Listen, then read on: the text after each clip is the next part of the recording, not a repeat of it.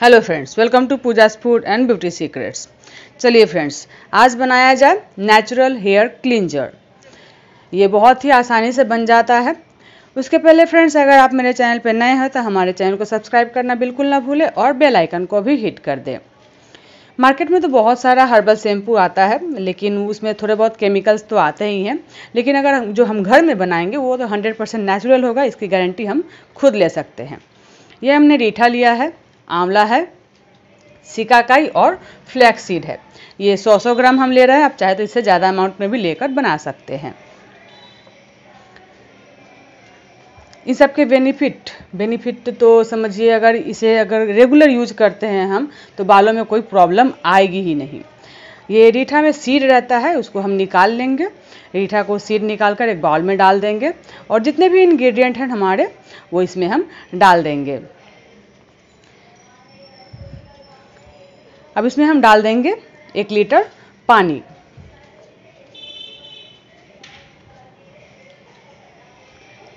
और इसे ओवरनाइट सोख होने को हम रख देंगे।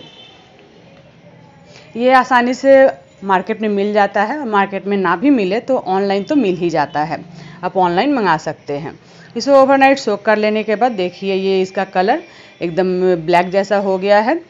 आप चाहे तो आयरन का बाउल भी ले सकते हैं इसको भिगोने के लिए। ये हमने एक आयरन की कढ़ाई ले ली है। अब इसमें हम, हमारा जो हेयर क्लियर है उसको डाल दे हैं और इसे हम बॉईल करेंगे। और बॉईल आने के बाद इसे हम लो फ्लेम पे करके इसको 10 मिनट्स के लिए हम बॉईल करेंगे। और 10 मिनट्स के बाद इसे हम अच्छी तरह से ठंडा कर लेंगे और मिक्सर ग्राइंडर में डालकर इसे हम पीस लेंगे। आप चाहे तो ऐसे भी यूज़ कर सकते हैं, लेकिन जो बालों में थोड़ा बहुत डैनवर्स इसका रह जाता है तो आसानी से निकलता नहीं है, इसीलिए हम इसे छान कर यूज़ करेंगे। इसे आप हेयर डाई के रूप में भी यूज़ कर सकते हैं, जैसे वीक में टू टाइम्स लगाया 30 टू 45 मिनट्स अपने हेयर पे रखा और नॉर्मल वाटर से धो लिया। इसके बाद शैम्पू यूज़ करने की ज़रूरत नहीं है।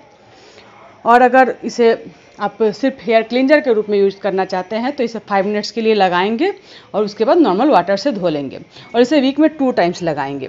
इसे स्टोर करके डेढ़ से दो महीने के लिए आसानी से फ्रिज में रख सकते हैं। और इससे बाल बहुत ही अच्छा साफ़ होता है। ओके okay फ्रेंड्स ये रेमेडी अच्छी लगे तो इसे लाइक एंड शेयर ज़रूर कर दें और हमारे चैनल को सब्सक्राइब करना बिल्कुल ना भूलें। Bye friends